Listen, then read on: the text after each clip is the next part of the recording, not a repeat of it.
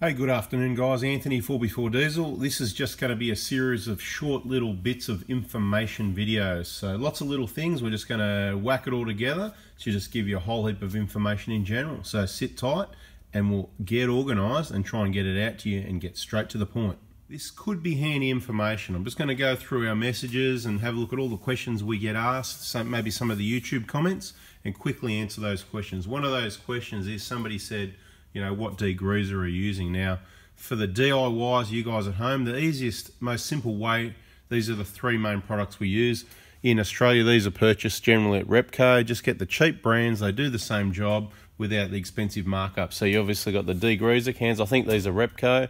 The export, that's the Supercheap Auto type brand your throttle body carby cleaner, let's say it's a bit like thinners, and you got your brake cleaner. Brake cleaner is not only good for cleaning brakes, but also any oil cleanup type thing, and it doesn't seem, it sort of cleans and it dries everything up really well. So after you change oil around the sump plug area, after you wipe it, spray it, wipe it again, it'll come up really dry and clean, so you know you haven't got a leak.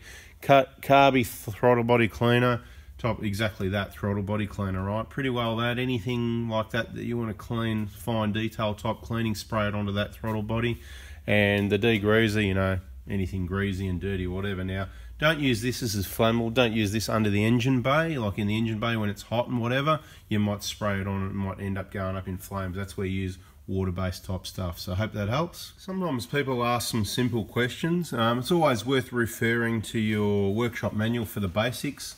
It saves any confusion with exactly what engine we're talking about. Um, I'm personally very busy, um, can't really afford to waste time spending time on answering simple questions like what oil do I use and, and the oil arguments people want to have. Not really fussed about what oil. Uh, most oils are pretty good, they'll do the job. The most important thing is you're changing it. Now, somebody did ask recently, uh, there was a discussion about how much oil uh, I think we might have even done a video on how much oil um, they the 1KD should use and how much oil they take at an oil change, which is about 7 litres. Um, and someone's comment was the 1GD, how much does that take? Well, you'll find in your workshop manual, it tells you that without the oil filter it says 7.2 litres and with the filter it says 7.7. Now the reason there's a big difference there and not with a 1KD, the 1KD can mostly drain backwards because of the orientation of the oil filter. With a 1GD, 1GD it's upside down, you know, so it holds the oil if you know what I mean. So you lose more when you change it. So the answer is it uses a bit more. It's about half a litre more depending whether you change the filter or not. There is a greater difference there. Um, and next thing people are going to say, which oil? Certainly not that same oil that you use in a 1, uh, 1KD. You need to have something that's specifically designed uh, for a vehicle with a DPF filter, otherwise you're going to cause some problems there. And they do prefer thinner, lighter type oils, like they say they prefer a 030. They say a 530 is okay. But you can't just look at the guides in the first three words, you've got to read right into it, and you will find it says, you know, um, that, you know, you may, you know, an oil with a higher viscosity, you know, or a higher value may be better suited if the vehicle's operated at high speeds or under extreme load conditions. And that's what I'm saying. They might recommend a 030. Um, now that's a new engine. When the engine gets older, then it's going to need possibly a thicker oil. And if it's used up north in hotter temperatures, long highway driving, loaded, towing, that sort of thing. What's this? This is our window sticker. These are our Oz Prado Crew's sponsors. Why are they our sponsors? Because I asked them to. So these are brands that we know and use, brands or business. Let's quickly go through Melandy Outdoor Adventure. They supply all your camping, uh, some of your four-wheel drive requirement type gear and camping gear. You'll find them at most of the four-wheel drive shows. Every battery, They've got branches in started in Tasmania. They're in Melbourne. They're in you know there's about four or five shops around Melbourne. We use uh, Heidelberg. So if you talk to the people at Heidelberg and say Anthony, Anthony Prado Forbia Oz Prado Crew sent you, certainly you might get a little bit better service.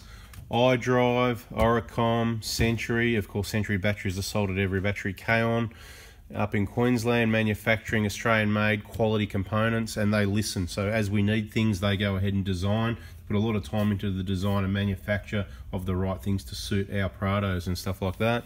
Redarc, of course, quality Australian made components for your isolators and chargers and stuff. Dobinson suspension, uh, Rola roof racks, Rola Titan tray, and of course ARB. So, these guys are sponsors because we ask them to. It's a lot of the brands we use and recommend. Um, so, if we we're not going to have sponsors that we don't use and recommend if you know what I mean. So they're by our choice okay? So bada bing. I've said it before I'll say it again. There's all the pages and the channel and the phone number. Now if I don't know you the phone doesn't ring okay? So there's no point ringing. You can try and ring if you like. Feel free to try it it'll come up as a missed call. You need to send me a text message okay? If you're ringing to purchase parts because people are saying how do we make purchases? Okay? How you do it is you buy, you shoot me a text message to that number with your name, your vehicle details and what you need, and I will call you back and we can discuss it and fine tune exactly what you need. The other information pages we've got at the top underneath where it says Facebook pages, the next two lines, the groups, there's some other groups as well, but they're your main ones. The two Oz ones, Oz Crew, Oz Hilux Crew. If you're in Australia, you should be in those groups. Um, the ones below that, if you're overseas, that's included for you guys as well. More specific around the engine. So Toyota 1KD FTV injectors and engine, one hashtag 1KD Forever Crew. Obviously underneath that, the client only group, that's 4x4 Diesel VIPs. That's for people that have made purchases. That's got all your awesome full length videos, how to replace all sorts of how to do jobs and that. And of course, you're looking at YouTube 4x4 Diesel. Okay, if you're not seeing a lot going on on this here um, on that on this YouTube channel maybe because we're taking a break. So we do that. So I'm going to put the phone here. Hopefully it doesn't ring or something but let's just have a look at this. We'll hold it up. If you're not seeing a lot happening on this channel and you're stuck at home avoiding the coronavirus or you came back from overseas because you insisted on traveling when maybe you should have not but anyway that's another story but yeah in self self uh, self, I can't even speak. You're in self isolation for 14 days and you need some entertainment, okay? You can come onto our other channel. So this is 4x4 Diesel. We've also got 4x4 Adventures. I think it might be called Oswald. Let's have a look what it's called anyway. So there's a whole heap of videos there. Let's have a look at this one. If you want to try and find the channel, you can search, what's this one called? Sand Driving Info 101. There's the picture of what it looks like, the thumbnail. See the second one down, right? The Prado on the beach here. Let's let's get that going and just see, let's get the information for you.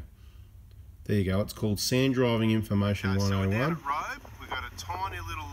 and the channel's called 4B4 Touring Australia. There you go, you can see it there. Kind of anyway, let's get rid of that. Just wanted to show you if it's a little bit quiet on this channel, that's because we're out. And, and there's a lot to learn about your vehicle there as well, okay? So that's Sand Driving 101. So you're going to learn how to use your vehicle, some a lot of sand driving tips. That video that video goes for 42 minutes. I specifically did that to help people with sand driving. Now, there's a whole lot of info out there on how to do things, but there's a lot of there's kind of a lot of wrong information. This is the problem. So we try and keep it clean, accurate. We do our research. We're out there using the vehicle and been doing so for years, the vehicles I should say. Um, so we've got a fair idea, really definitely not what works, and we're going to use our uh, on uncommon common sense to explain it to you. So um, maybe get onto that channel, subscribe, so that as videos come through, you got the information, you can maybe see what we're up to as well. Now I did another video on this Kaon bracket and this compressor where it sits in behind here and um, it seems to be tucked neatly into that corner pretty well protected away from water and heat and everything like that someone did ask, um, are you going to show us about the wiring or something like that? Well, it is a little bit difficult because we've, I'm not sure what we put in the video, but I would have thought we showed a little bit of that. Maybe I didn't, but I can give you a rough idea. Um, obviously, this is what I normally, don't normally install and stuff like that. Everywhere we run wires, we run corrugated split tubing so you can see everywhere you know make sure your wires are away from anywhere that's going to be hot but to give you a rough idea, um, it's going to be difficult, but what I can do, I can try, okay? So the compressor's obviously mounted there. Um, obviously the plugs to the solenoid net, you can see the red and the blue. The main compressor plugs in. That wire here that runs alongside there, where does that go? It goes along here, and we've just got the fuse jammed at the side next to the battery and the body of the car there. It's just sort of sat in there nicely, and that wire goes across nice and neatly, not rubbing on anything, corrugated split tubing all the way across underneath this plastic cover, corrugated split tubing, zip ties, and it comes out here, right, nice and neat. Okay, we've got one zip tie holding that wire there so it doesn't pull on the other end. And, and the little black wires so they both go on the battery together right? So they come in so you can see that little one there. And the two go into that um, what do you call it? Get crimped in together anyway. And of course the negative uh, the positive splits off and goes that way and that's why it's got the corrugated split tube and we cut the hole a little bit bigger so that's basically your battery connection I'm not saying this is the order you do it I think that might happen last um, so it came around under there like I said, there's your fuse. Nothing, nothing else comes around here. We put the switch right here on the bracket. Um, there's a relay, there it is mounted there. We use an existing hole to mount the relay right there. All the wires are wrapped up nice and neatly, zip tied together and tucked down, way down behind there. You probably can't even see them. They'd be, I'll try for you, I'll try, but down there somewhere. Right, I'm trying guys, it's not happening. Anyway, they're down there. I'll switch that off again because I bumped it. But anyway, you get the idea. It's all nice and neat. There's no wires to be seen. Um, and the only two wires that went inside, and it's not through that hole, that is our power from the auxiliary battery into the vehicle to power our USBs in the dash. The wires that went in, they went in a bit further down where the washer bottle line goes through the grommet. We tucked them through with there, two small wires. One's asking for ignition and one's asking for um, when the light, the lighting signal or whatever. We just join them both together to um, the ignition supply, which there's a fuse box panel underneath the dash, which we'd already used for our wire for our, let's come back over here for a minute, for our projector, there's an ignition sensing wire, which I'll tell you on these vehicles you don't need to use. You can use it if you like. We didn't use it, it worked fine. We connected it, it works fine. So either way works fine.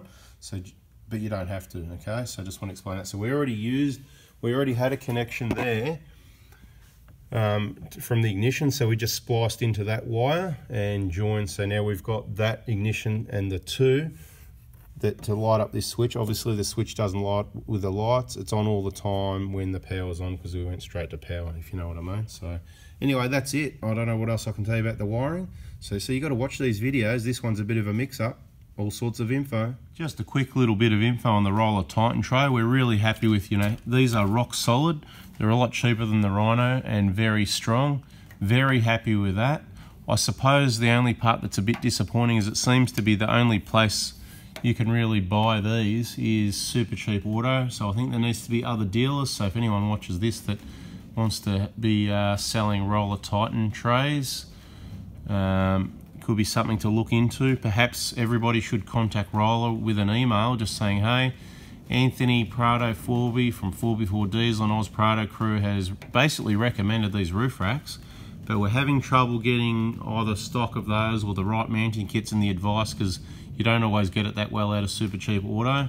You need to have some other deals or options because I think that's what needs to happen. If you are in Australia and you have a 150 Prado, and you're in Oz Prado crew and you want to support the crew, support the sponsors that support us, if you're in Victoria, you can order a sticker with me. Basically, you just shoot me a text message to that same number. Say, hey, I would like one of those stickers. I'll send you the details to pay the money into the charity account. We've got a separate account um, that we raise a bit of money for different charities and stuff. So we put a small markup on these things. It's amazing that we've been able to get them this cheap. They're 50 bucks. If you pick it up, I'll help you put it on. You can watch the video. I've got a video on YouTube.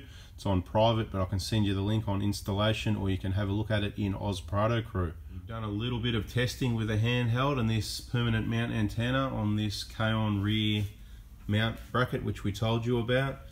The antenna seems to work quite well considering it's down behind the back of the vehicle in sort of hilly terrain and stuff like that it did okay. It did a couple of Ks at least. You know, it was pretty hilly and built up houses and trees. It wasn't flat open road. So I'd probably say quite a few Ks as that is. The one thing I want to say, it did make a massive improvement. See, we've just got the short little Oricom whip on there at the moment. So for our roof clearance, if you like. Um, but when we go out on a trip, we put the longer one on and that does seem to make a big difference. Probably almost doubles the distance. Once your vehicle becomes a bit older, or perhaps from the start, there's a few what they recommend is daily or weekly or monthly checks. Let's just go through. When you pop your bonnet, I'd suggest these are checks that you probably want to do if you're on a trip. So if you're going on a trip or you're on a trip, you might want to make these daily checks. The reason being, you know, daily checks when you're around town, if, if you don't check and something goes wrong, well, you can usually get help. If you're in remote places, uh, the help's not always there. So you want to know about something as soon as possible so you can make a decision where you're going to head to. So some of these checks are just on a visual. You can have a look at your brake fluid level. You can have a look at your coolant level. See the red there, you know, that's around about the level it needs to be set at. Um, you can obviously check your oil level by removing the dipstick. You can have a look at your air filter on any of these Toyota vehicles, the 1GD or the 1KD. See that little hole there? Gives you an indication of how dirty the air filter is. On the 1KD it's pink, on the 1GD it's blue. Okay, so if you check and clean your air filter and you can even put it back in and wipe that hole clean, so when you go on a trip you've got a fair idea how much dust has got to that filter, you know, and you really just need to look at those a lot and then look at the filter to get a guide of how dirty it is. But without opening it and risking contamination out in the dusty areas, you can just do so by looking at that hole. Not sure if you knew that, but anyway.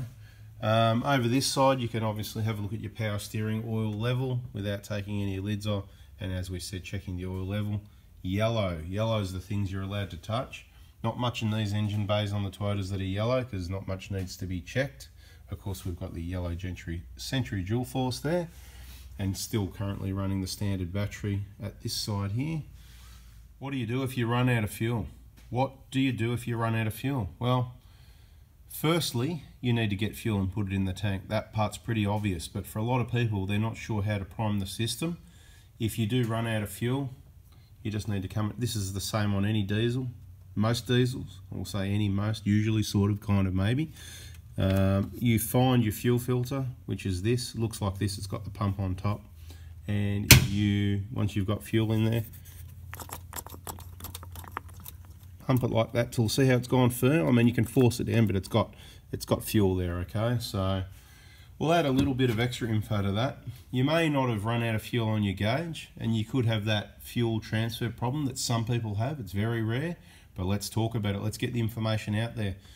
If you if your vehicle comes to a stop, nothing stops Prados, okay? You can have other little issues, but nothing stops them generally other than fuel. If you've got fuel, You've certainly got an engine and you've got injectors. If you've got fuel pressure, which all you need for that is fuel, if you've got fuel, she runs. Might not run well, you might have other issues, very rare.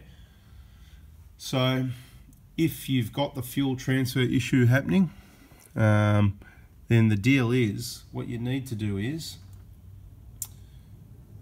pop your bonnet, you, the vehicle's come to a stop, right? You've probably got your 90 litre light on in a 120, about half of that left or about quarter of a tank in a 150 maybe give or take but that's what people are reporting you know about uh, you know quarter or a bit above quarter the few people that it happens to then you come out here and you pump this up and if you feel you're pumping it up and then the car starts but it stops again and then you go to pump it again it's gone soft again and as you keep doing this it gets worse and worse then it's probably there's no fuel coming up and you're looking at your gauge going well hang on a minute, I've got fuel there, well this is what your issue is. So you need to get more fuel.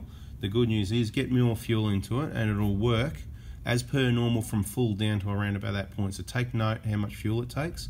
Sometimes they can be slow to fill as well. You can have that issue while you're having this issue. Um, slow to fill or you've got to fill a bit and then drive a bit and then try again. So anyway, hope that helps. Yeah, well, with all this coronavirus seems to be, you know, spreading around pretty well around the world.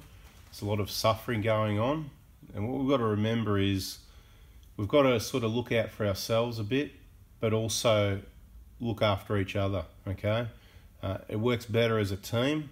So remember to, you know, have some, you know, have some heart, you know what I mean? Um, be kind.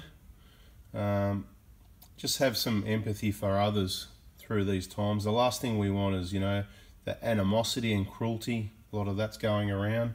But look, it seems to be changing a little bit and it's getting more where everybody's going to sort of work together and help each other out. So that's good.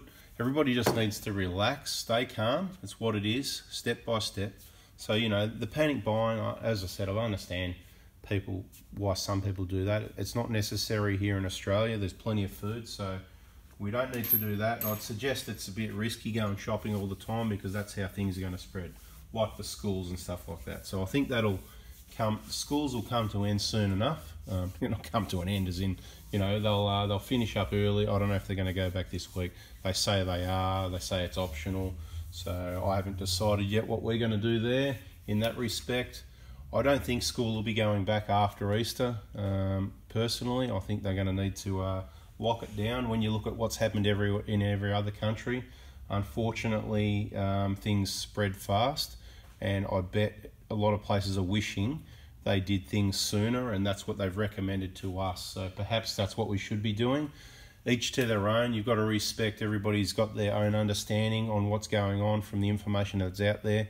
There's a lot of sort of wrong information, so I'm not giving out any information. I'm just saying it's what it is. Um, possibly it's worse than they're telling us. That doesn't mean panic. What it means is maybe you should stop going to the shops. Maybe you should stop going to the schools. Maybe you should stop going out. But then if you feel fit and healthy and strong and you want to go out and support those businesses, then go ahead and do that. What are our movements here? We're going to sort of quieten down a little bit, um, get a bit of the maintenance and things like that out of the way. As far as um, servicing and repairs go, we're going to have a bit of a quiet time and a bit of a break. Where, as far as parts supply go, if you want to get some parts, obviously, if you want to get your injector kit so you've got something to do in case you end up having a quiet time, please shoot me a text message. Melbourne, Monday morning, 9 a.m., 23rd of March is kind of like our last day. You know, I don't know if you know already, but um, parts Monday is parts day. Monday is the day to contact me if you want to make inquiries about anything, including parts, or if you've got one of those harder things you need some help with. Monday morning's the time for that. You still need to text me what it's about. I, if you've purchased parts, you're stored in the phone, the phone rings, you will most likely get an answer. But if I'm busy, obviously I can't do that. By text me what it's about, I can prioritize the urgency. If it's what oil to use, as I've mentioned earlier in this video, it's not going to be high on the priority list, guys. Sorry, the small things. That's why we've got these groups on Facebook, which we keep showing you over and over again. And we've obviously got to do some things over and over again We've got these groups there for that reason. A lot of these people have already know about and done the work. They've learnt it from me.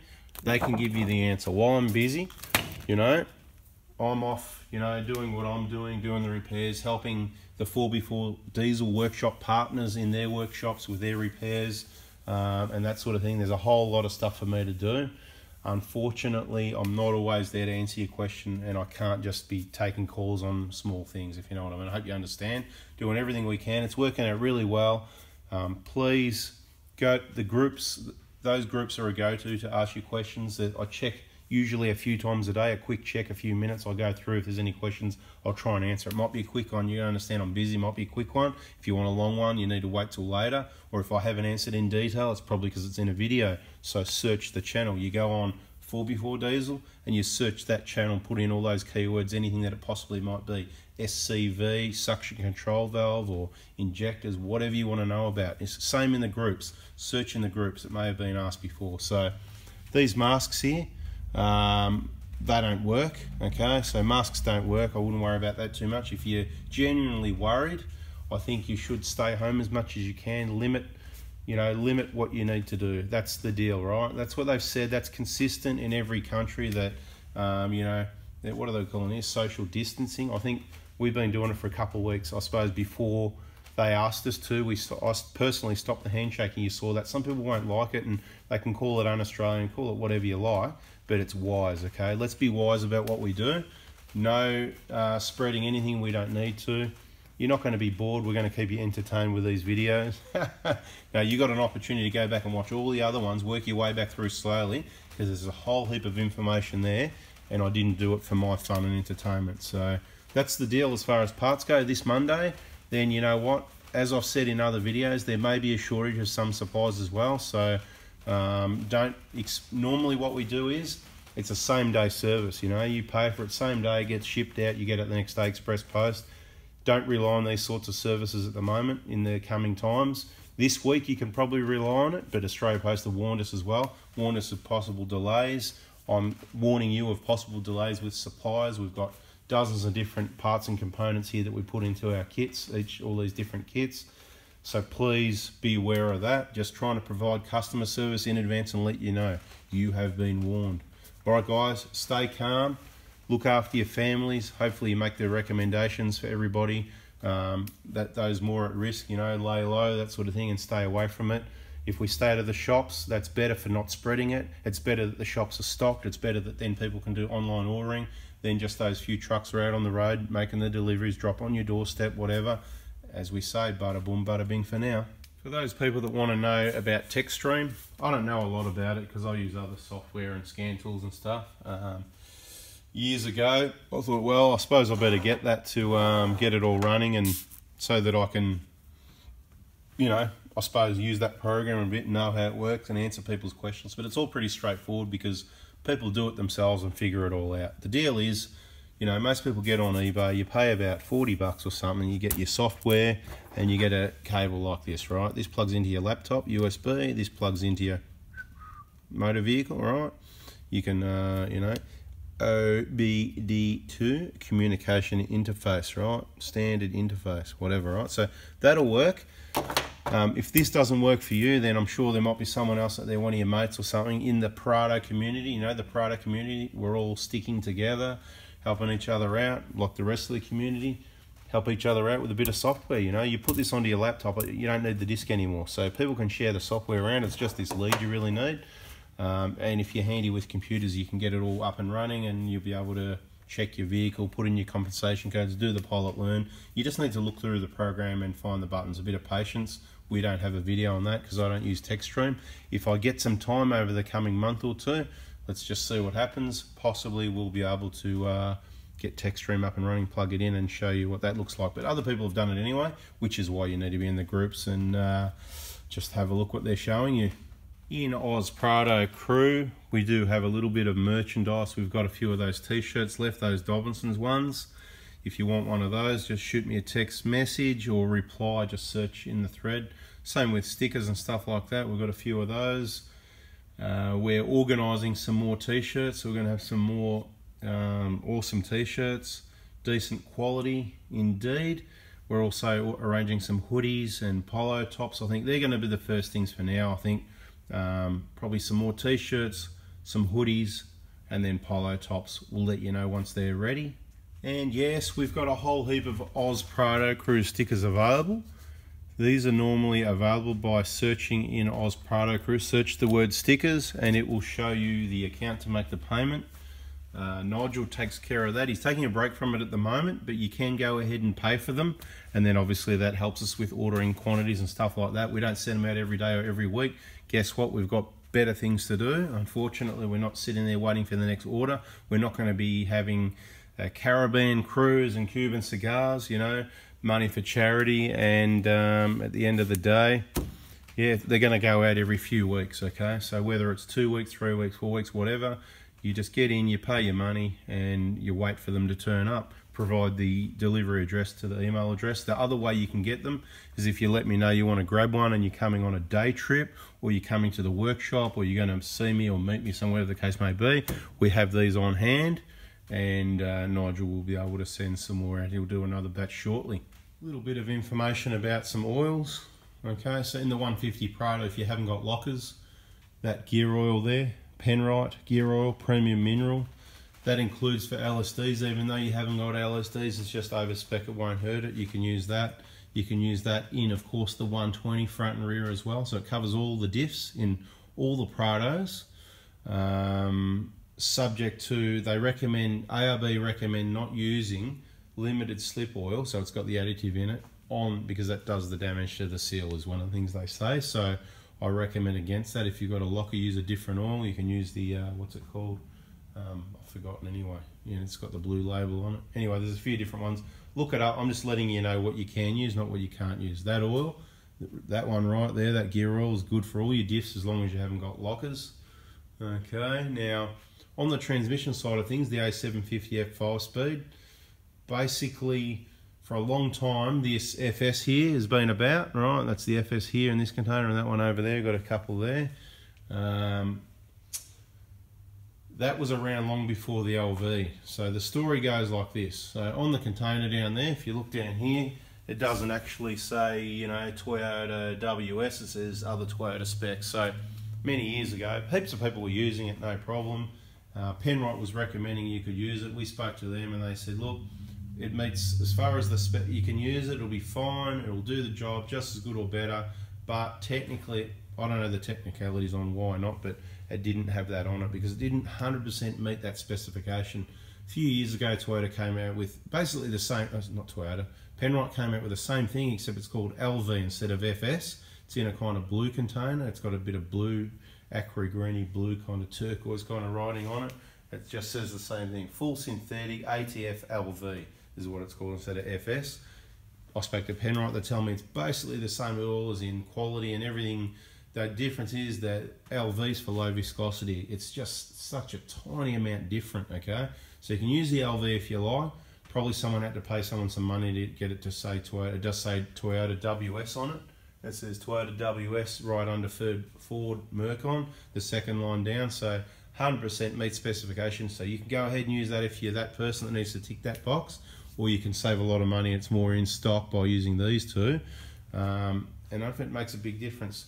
This one says five times smoother. On the LV, it doesn't actually say that. It says low viscosity, right? Now, in transmission specialist terms, if you use an oil that's too thin, it can do damage and the transmission may not last as long. So since there's such a small difference in it, and we seem to notice that they run a bit smoother with the um, FS. Now, don't get me wrong, if you do a flush and put LV in, it's going to feel great too because you've just put new oil in it.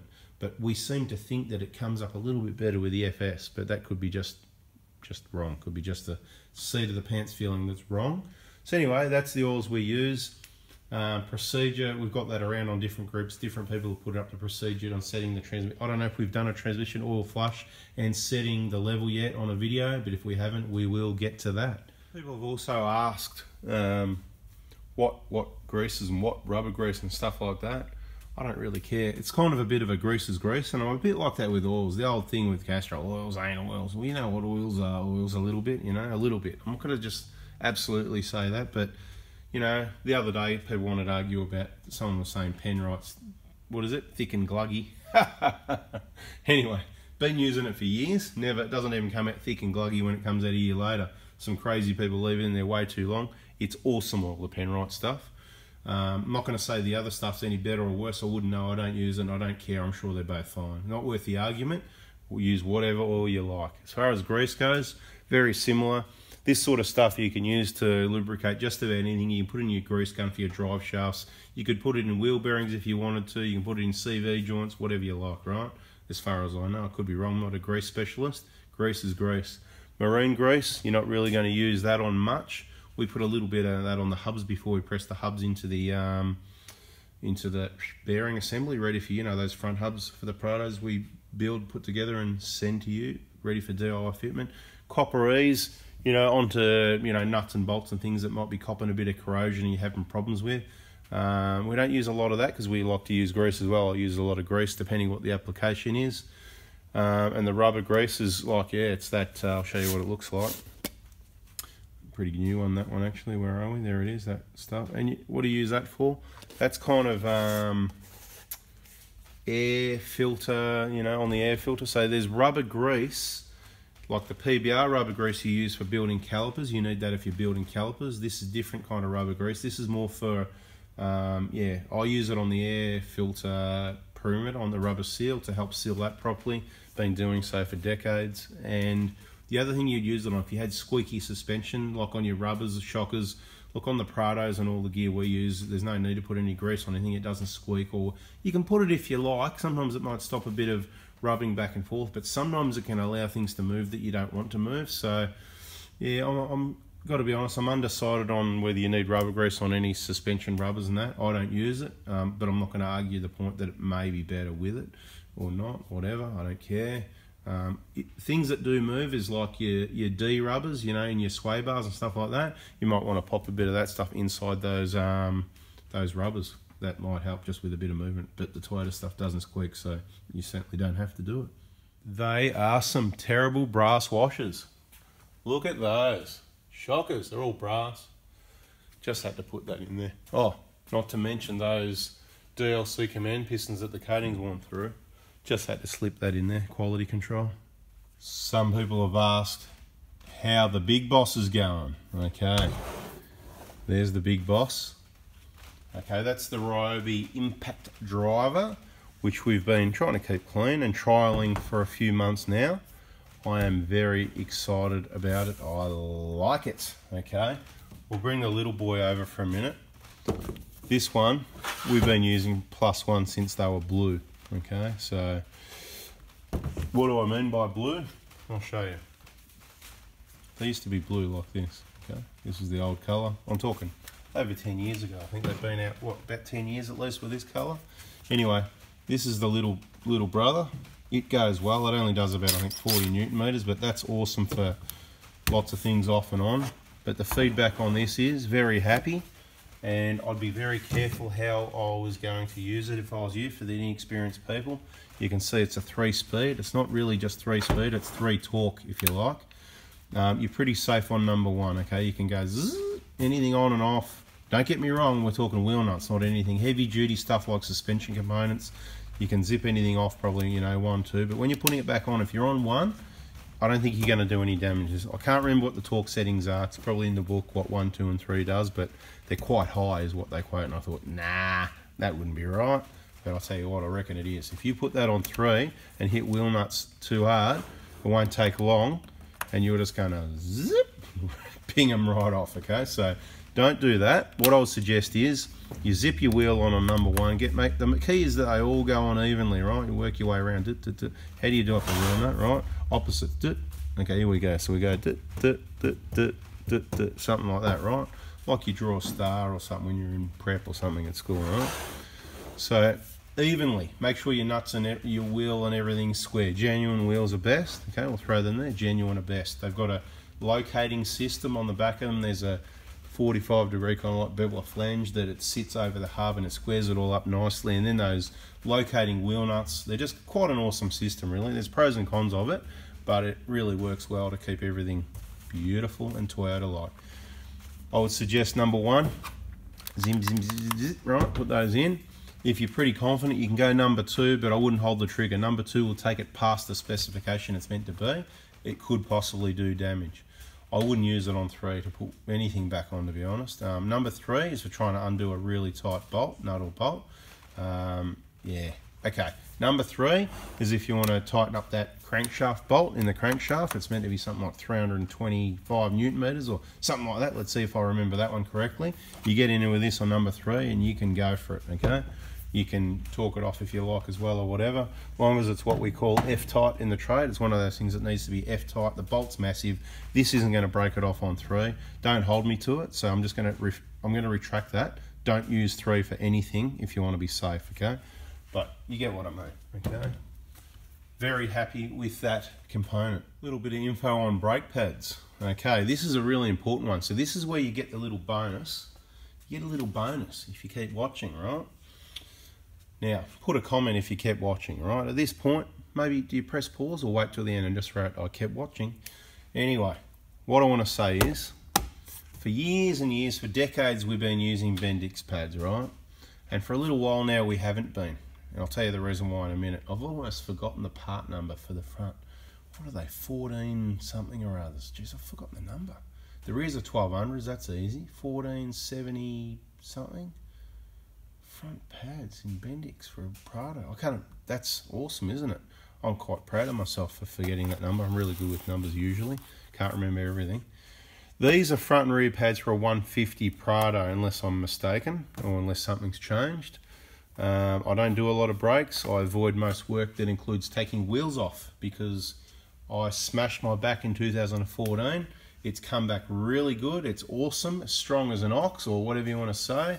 The flexibility is not quite there, but we're going to look after it, right? Learn your lesson, you know, wise up. Did a lot of silly things before 2014 as well.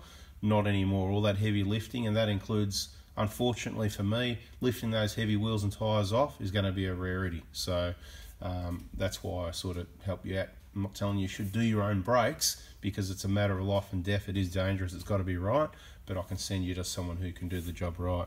Now, the, the Bendix front pads we've always been happy with. The genuine pads that come in the cars from Japan we've always been happy with. Okay. See, there's a bit of a change here, isn't there? Um, what we weren't happy with is The Bendix DB1200s, the rears, they were never noisy or anything, but they wore down quickly. There was a pattern with a lot of people wearing rear pads down really quickly. All the cars were seeing for service. They just weren't lasting anywhere near as long as those original Toyota ones, which I kind of think isn't fair, particularly when the retail price was higher than genuine Toyota pads. Um, yeah, so you've got to do the right thing. So we did this move over to genuine, thinking we were putting back in what was in the vehicle from Japan, thinking, yeah, that would make sense. Now, I'm not sure if it is or not.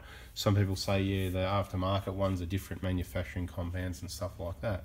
That may be the case, right? It could be different batches. I'm not sure what the problem is, but we've got a pattern of when using the, mainly in the 120, I think the part number is in Y double ZAM or something like that. It's a different number anyway, it's not these. They'll fit in, they'll work, they'll fit the same, slightly different compound. You'd be able to mix and match, okay? It wouldn't be an issue, but obviously to do things right, we use the exact right part number for the correct vehicle. Now, we know people in Bendix as well, and we have been speaking to them over the last period, I'll say weeks, months, and even a year possibly, talking about this wearing out too fast problem with the Bendix DB1200s. Um, and I'm sure a lot of you would agree with that. Please put a comment. Yes, I agree. Those 1200s wear it too fast if you saw this video. This is what's happening, right? They're working on a compound, trying to keep all the positives of that compound, you know, no other problems and trying to get it to last longer, okay? So I think, I'm not sure if it's out or if it's been changed. I haven't been briefed on the actual information, but they are going to get us a number of sets. I'm not going to tell you how many yet because can't make promises till it happens and they're in my hand. Uh, you know, believe it, you know, I believe it when I see it kind of guy. When the pads are sitting here on the bench, we'll talk about it. So we're securing some Bendix pads, okay?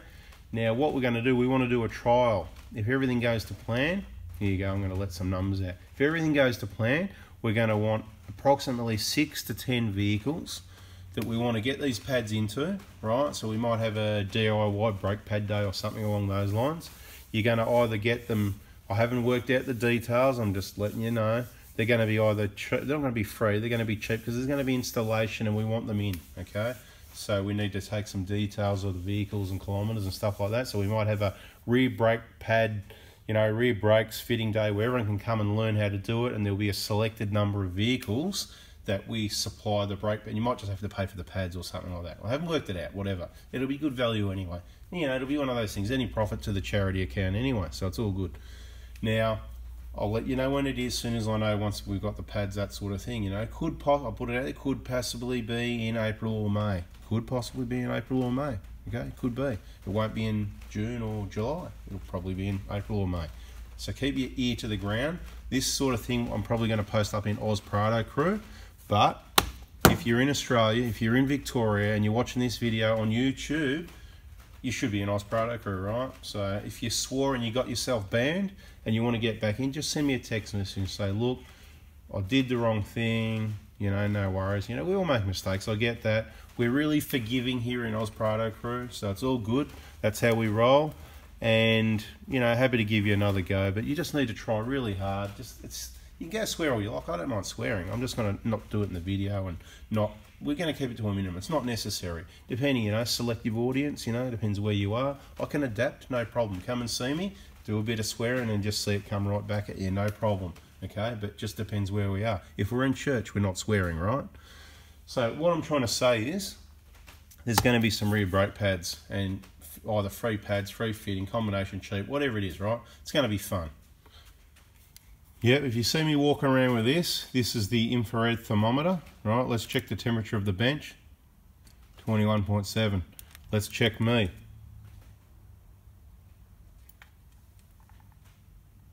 I'm 36.2. Now, if you saw that, I want to see a comment as well. I saw the 36.2. Tell me, you're, you're normal or you're not normal? Okay, that's the comment. You're normal or you're not normal? Quick bit of info. We don't sell the EGR gaskets separately, okay? So they're just small stuff. We're really busy. We can't just be doing 100 packages a day with a couple EGR gaskets. For, so I hope you understand that all the gear comes in all the kits so you can get this with the injector kit usually is what most people do or you can if you, even if you're not ready to do your injectors you can get your wheel bearing kit and I'll put those in or you can get your timing belt water pump kit and I'll put those in you know you can get the other stuff and I'll put those in you can certainly come and pick them up no problem but I can't be just making packages to send, you know. So all the EGR gaskets do the EGR clean. There is a number of them you need. You just probably need to go into your Toyota dealer. When we get some more time, we'll go through all the different ones. To be honest, this is the only one you need, which is why I've got this one. There's the part number. That's the only one you really need if you're doing an EGR clean. That's the one that goes between the elbow and the manifold. The rest generally you can reuse. And that's it. So thanks for watching. I hope you got some info out of that and it filled in some time for you. And if it didn't, well, it must have because you're still here. Thanks for watching guys. See ya.